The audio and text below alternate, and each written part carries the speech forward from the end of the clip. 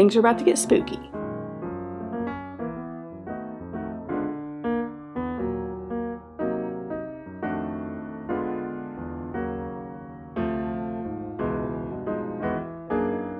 Hello beautiful people of the internet, welcome or welcome back to my channel. My name is Hannah if you're new here and I'm so excited that you've joined me today. For today's video we're going to be talking about all the books that I want to read this fall. Oh my gosh, I'm so excited. September is right around the corner and you guys know what that means. It's the start of all things fall, pumpkins, hoodies, sweatshirts, cooler weather, crisp leaves. I'm so excited. I am most definitely a fall girl. I love the fall time. That is my favorite time of the year.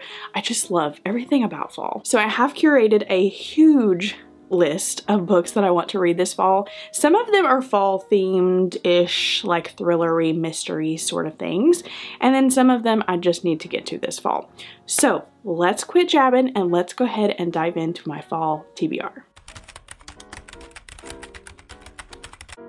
As always, we're going to start with book clubs and readathons first. So these are absolutely the books that I have to get to in the fall months. And whether it be for my book club or other book clubs or other readathons, whatever is going to go on in the months of fall, these are the books that I have to get to. Starting with my book club, Comfy Cozy Book Club. If you don't know what I'm talking about, I do host a bi-monthly book club called Comfy Cozy. I will leave the video where I explained everything down below. That way you can go check it out if you're interested. But in the month of September, we're going to be reading Cherry Pie or Die by Cece James.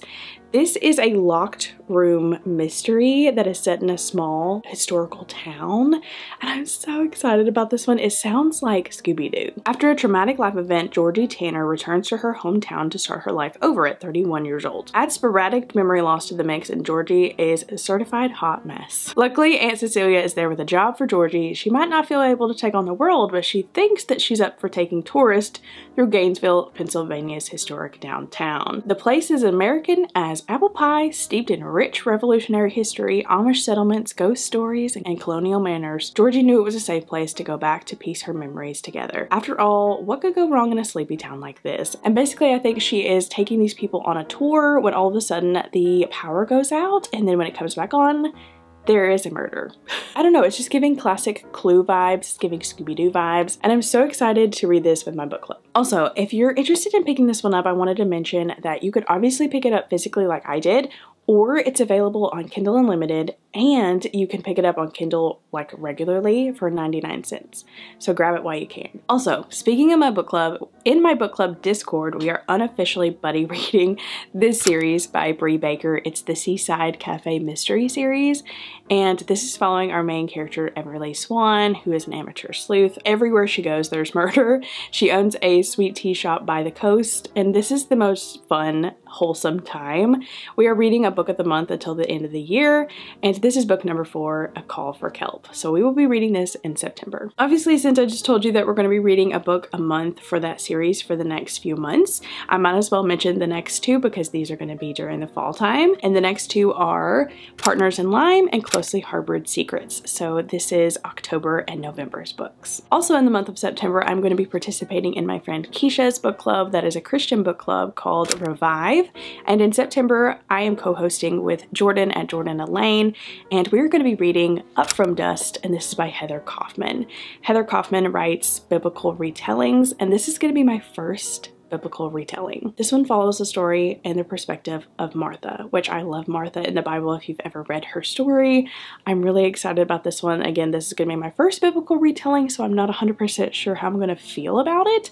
I'm hoping, hoping, hoping I love it. And I'm so excited to discuss this one with Jordan and Keisha. Another book for my book club we're going to be unofficially buddy reading in the month of October. We're going to be just discussing it back and forth in the Discord, not really discussing it anywhere. We're going to be reading The Spell Shop by Sarah Beth Durst.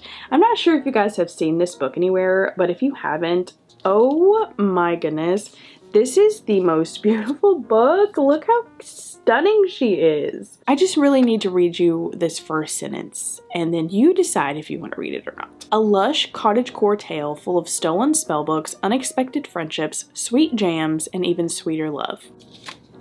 I'm so excited. I know that I will be trying to participate in other book clubs and other readathons, but I don't want to put them in this TBR just because I really don't know what these next few months hold for me. So I really try and take it one month at a time or like honestly one day at a time. So there are many other book clubs and many other readathons that I'm going to try and participate in, but I'm not 100% sure. So I did not include any of that in here.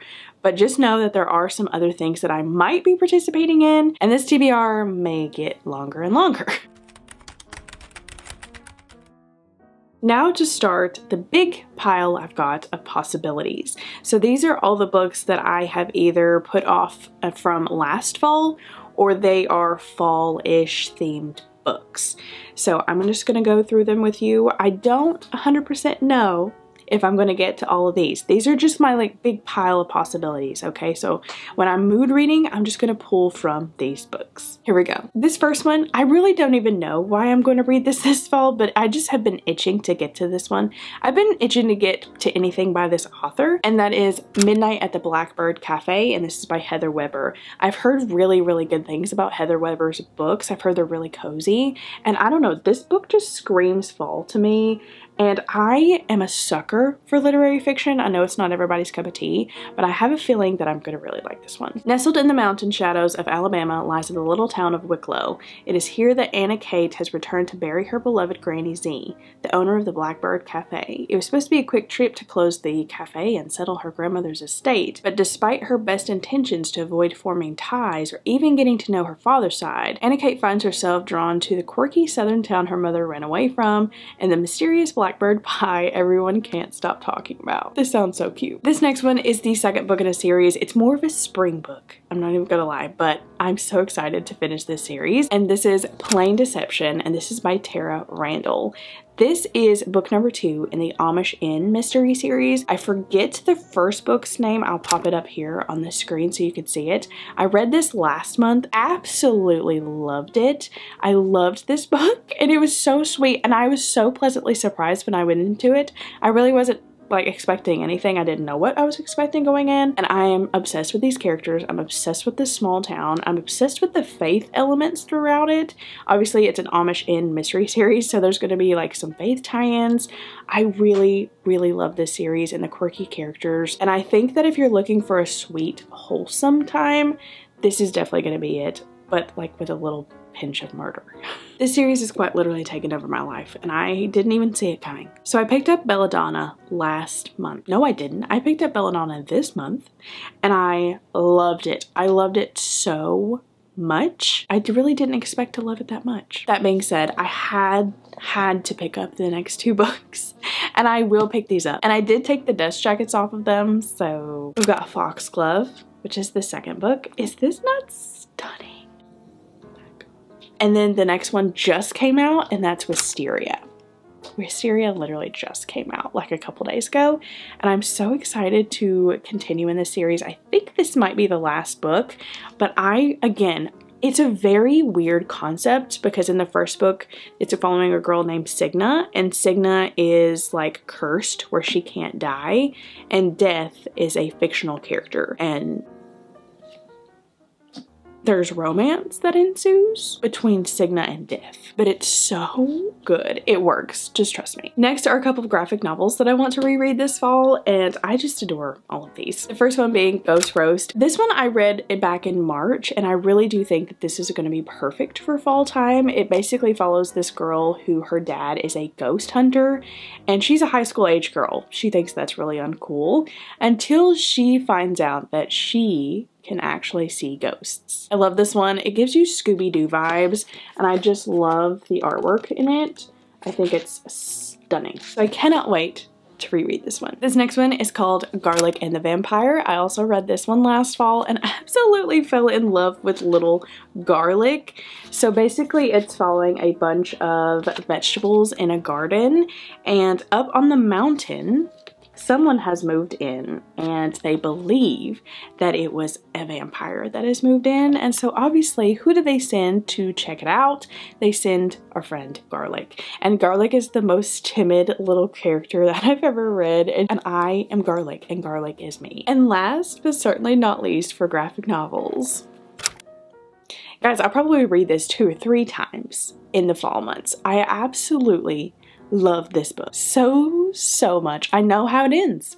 I know everything that's in this book. Am I still going to reread it? Probably three or four times. Absolutely. This one is following our main characters, Josiah and Deja, and they are high schoolers going into college. Every year they work their town's pumpkin festival, fall festival sort of thing, and this is their last year working it because they're going off to college. And Josiah really likes this girl, so Deja decides to help him, no matter what, talk to this girl. And they hit a few roadblocks on the way, and let me just tell you, the best part about this whole book is the food and all of the festival vibes that it gives. Oh my gosh. Oh my gosh. I just love this book so much. I need that right now. Okay, let me tell you what that is. It's vanilla ice cream sandwiched between two wedges of pumpkin pie on a stick dipped in chocolate.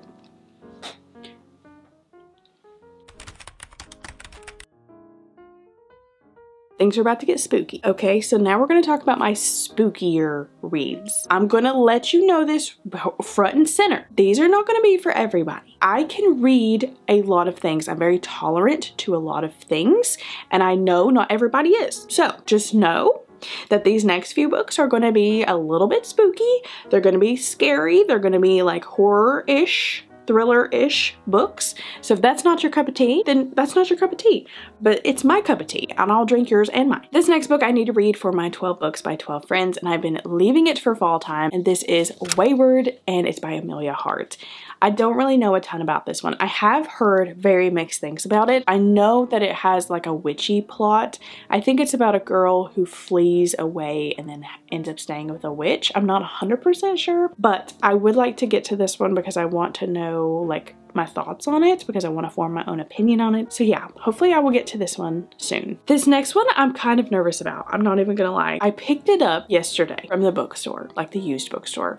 I found it in my local used bookstore and I was so excited, but also really nervous because I love this author so much that I'm nervous about this book. And that's Black Sheep by Rachel Harrison. Rachel Harrison also wrote Cackle, which is one of my favorite books of all time. And I really didn't think I was gonna like that one, but I ended up loving it so much. It was like more of a cozy horror. I don't think this is gonna be cozy horror. I think this is gonna be actual horror. I picked it up knowing that I may not like it. I picked it up that I may like put it down halfway through. Um, but I have to know my opinion on it. I love Rachel Harrison's writing so much and I could potentially see her being one of my favorite authors. I just have to know if I'm gonna like this book or not. All I know about this one is that it follows our main character who left home and then she has to come back for a funeral, I think maybe, and I think that it has some cult vibes. So if that's not your cup of tea, I ain't making you pick it up. This next one, y'all, I meant to pick it up last year and I didn't. And I love me some Grady Hendrix. And it's How to Sell a Haunted House by the one and only Grady Hendrix. I love Grady Hendrix. He writes sort of like a funny-ish horror. I think this one is gonna be kind of weird because I think it's told in the perspective of a puppet, or I just know that there is a puppet involved, and obviously a haunted house. And you had me at haunted house. This next one I also meant to get to last year, and it's called The Unfortunate Side Effects of Heartbreak and Magic, and this is by Breanne Randall. Again, don't know a ton about this one, but I do know that it has been compared to Gilmore Girls vibes, and again, you had me at Gilmore Girls. Following the theme of haunted house vibes, Starling House by Alex E. Farrow. This one is following our main character Opal, and Opal is not doing too well financially. I think she's also trying to support her and her brother, and she really loved this book called The Underland, and in The Underland there was this house called Starling House, and she has a chance to actually go to the house that inspired the house that was in the book. And when she gets there, she finds a lot of stuff going on in that house. This one seems so spooky. And the last of the spooky books. I will stop scaring you now. is Ghost Camera and this is by Darcy Coates. This is going to be a Darcy Coates coded Halloween, guys. I can just sense it. Darcy Coates, I can see becoming one of my favorite authors. I read one book by her if that tells you anything at all. I read The Haunting of Ashburn House last month. I really did read that one last month and loved it. I loved it so much. It was supposed to be cozy horror. There was nothing cozy about it. I mean, maybe, but I was so scared. And guys, I know not everybody likes to be scared in their books, but I do. I think if a book makes me feel something, that it just is top tier. So this one is another book by Darcy Coates, and I think it's about a person who finds a camera and there is some suspicious activity on the camera. Some of you who do not read spooky books are probably looking at me like, what is wrong with this psychopath? Like she's excited about ghosts. And last but certainly not least, let's talk about all the cozies that I want to read in the fall time. This first one is Thanksgiving themed, and this is Drizzle with Death, and this is by Jessie Crockett. I will tell you, you might want to save this one for November. This one takes place at a pancake eating contest that is like their pre-Thanksgiving tradition in this small town.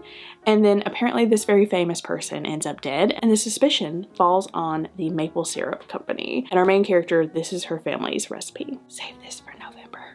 I don't know why I'm getting fall vibes from this one, but I am. Get Away with Murder, and this is by Diane Kelly. I found this at my local used bookstore yesterday. I've always seen the second book in this series there, but I haven't seen the first one until yesterday, and I was so excited! I've wanted to read this series for a very long time. This one is following our main character, Misty, and Misty owns this mountain lodge in the Blue Ridge Mountains, and she fixes it up and she opens it up to the public, and then her yoga instructor with the lodge is found dead. This next one is most definitely a fall read, and that is Catch Me If You Candy, and this is by Ellie Alexander. I've always wanted to read an Ellie Alexander because I've heard really good things about her books, and they're so cute. I've wanted to read Meet Your Baker by her, but I think this is going to be my first Ellie Alexander because I really do want to get to this one, and look, there's a pug on the cover. Look, he's riding in the little car. This next one, I so desperately wanted to get to last year, but I didn't get to it, so I saved for this fall, and that's Fatal Fudge Swirl, and this is by Meri Allen. Meri Allen writes the Ice Cream Shop Mystery series that I so love and adore. The first book is Rocky Road to Ruin. Loved that book so incredibly much. This one is following Riley Rhodes. And Riley Rhodes works in an ice cream shop and obviously it's ice cream themed. But this one, there is a fall Halloween themed wedding and I believe somebody turns up dead. This next one I just put here on a whim, okay? I'm not even gonna lie, but it's so short and it's so cute looking, and that is The Unexpected Mrs. Pollifax, and this is by Dorothy Gilman. Apparently this is a very loved book series, and Mrs. Pollifax is apparently a very loved woman. This is giving me Murder, She Wrote vibes for some reason, but I have to read you the synopsis. Mrs. Virgil Pollifax of New Jersey was a widow with grown married children.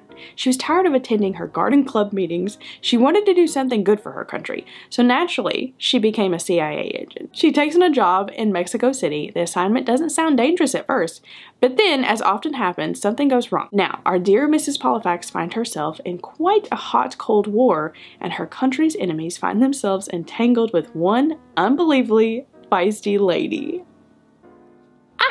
Is that all of the books that I'm going to read in the fall time? Probably not. I'm probably going to be growing this TBR as time goes on. But as for right now, those are the books that I want to get to in the fall time. And those, some of those I absolutely have to get to in the fall time. That's it, my friends. Thanks so much for joining me today. And I'm so glad that you stopped by on my little corner of the internet today. If you made it this far, go ahead and leave me some kind of fall emoji, whether it be a ghost, a pumpkin, a fall leaf, some kind of hot drink, whatever you want to leave, just show me that you were here. And just remember, my friends, this world is a better place with you in it, and I will see you on my next video. Bye, guys.